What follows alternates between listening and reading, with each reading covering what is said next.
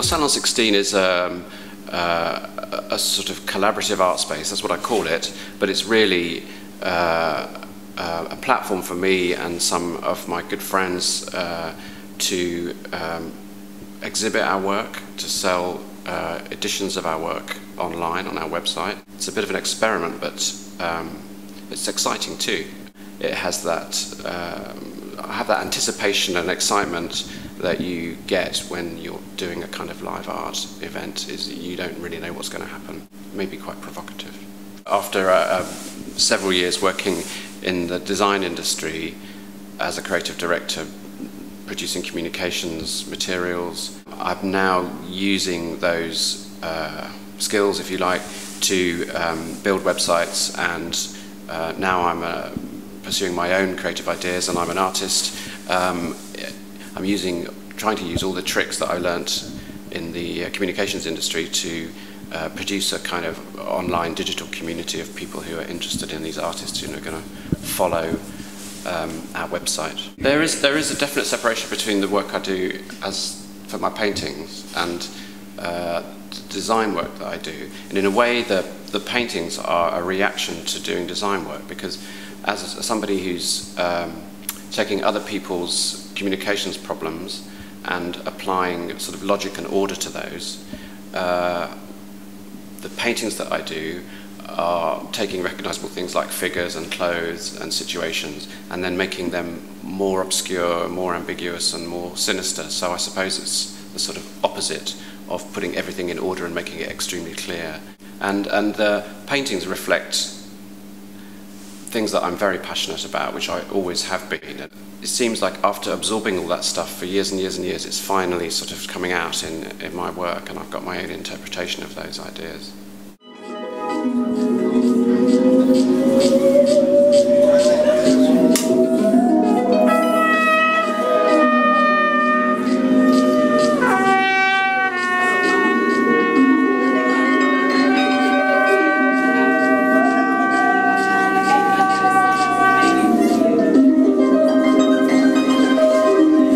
Got started by, I was already really keen and interested in nightlife culture. My brother was uh, a club promoter already in about 1983, 84. He was running a club called The Lift, which was, it was, it was kind of you could say it was the first polysexual nightclub. It was all human beings welcome.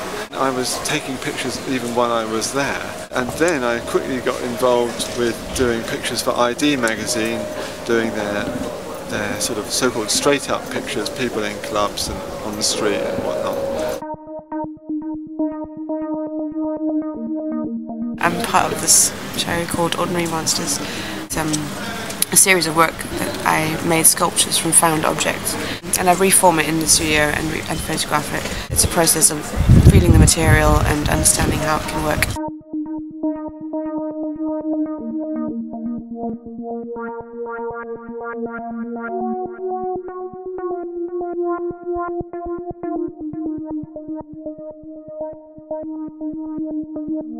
Uh,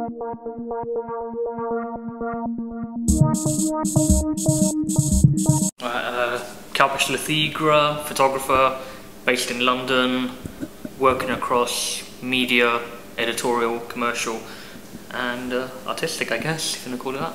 We're looking at the kind of connotations when people wear these masks and how people react to them. Um, they could be political, they could be artistic.